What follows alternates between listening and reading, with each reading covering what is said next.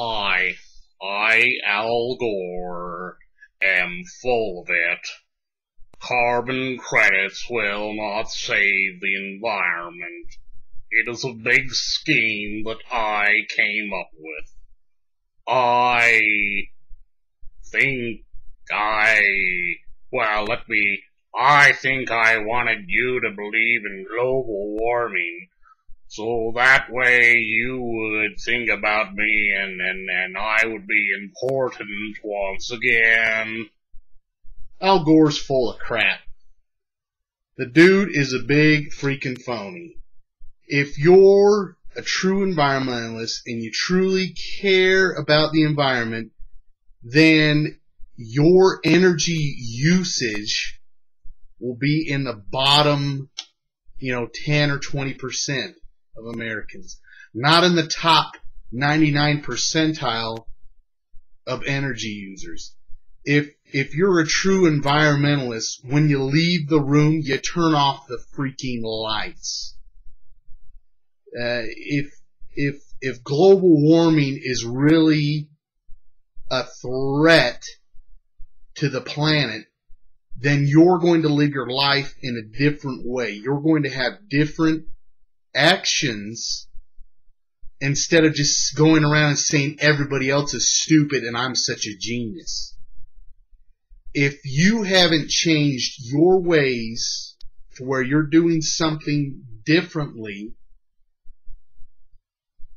then that's what you need to do. Okay?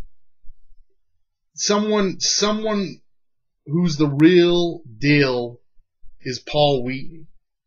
That dude really cares about the environment. That dude has really, that guy is not only doing things in his own life, but he's doing things to change things. Uh, there's going to be a link. Go over, check him out, check out his videos, watch his stuff. Solid gold. I mean, you're going to learn about the evils of CFL light bulbs. Okay? Oh, this man, he uses incandescents here. Oh, this is horrible. Let's, I'm, I'm just gonna downvote the video. I'm not gonna listen anymore. You're, you're being a, a retard.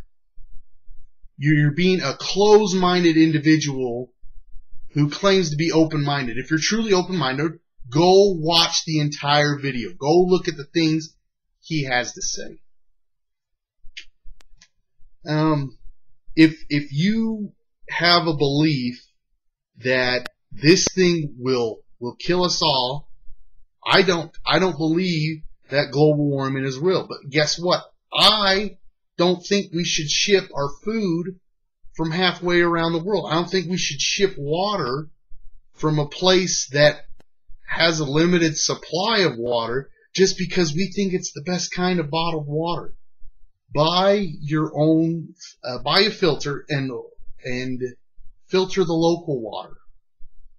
You know? Do that instead of shipping it across the environment. Grow a garden. Why are we shipping food thousands of miles? How much more local can you get than your own backyard? Can you, can you, can you do that? Does, does, does Al Gore, does, does James Cameron, do they have a garden? Do they, do they buy local? Do their actions show that, hey, I, I really care about the environment. I'm really concerned about the earth. You know? Or should we, or should we continue to ship things thousands of miles, eat GMO products, pour, pour gallons and gallons upon chemicals in our food, and then, you know, feed that to animals and then eat those animals where those chemicals have bioaccumulated and now that we think that, you know, beef from a cow causes cancer, when it's those chemicals that those cows have been consuming because we, we dump it all over our, our, our uh, fields and our crops and then we consume that crap, that right there, that kind of crap, that's really destroying the earth.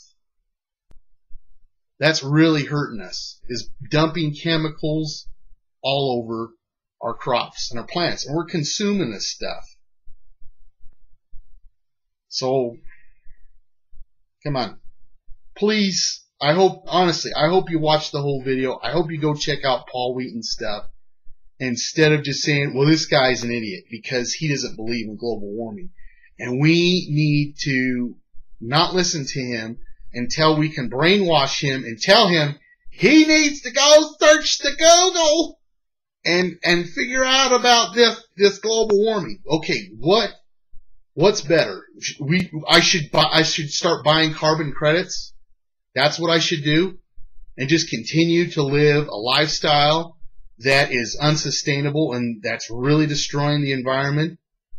Am I telling everybody to go continue to drive a Dodge truck everywhere and we should all drive Dodge, big Dodge trucks dually that gets nine miles to the gallon because that's what we should do? No, I'm not that dude.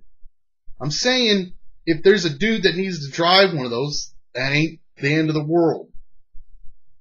But if we're the dude that's going to go around and dump crap and chemicals all over everything and completely pollute and destroy the environment, we need to knock that crap off. So here's the deal. Hopefully you watch this. Let's go check out Paul Wheaton. Let's go learn a thing or two from a dude who's a real freaking dude.